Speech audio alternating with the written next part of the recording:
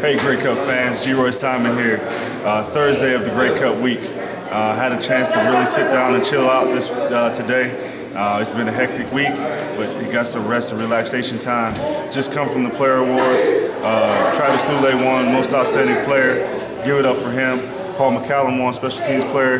Give it up for him. Definitely two deserving guys. Uh, had two great years. Um, get out there and get on geroysimon.com. Get your Superman 81 t-shirts. Uh, they'll be available uh, on that site.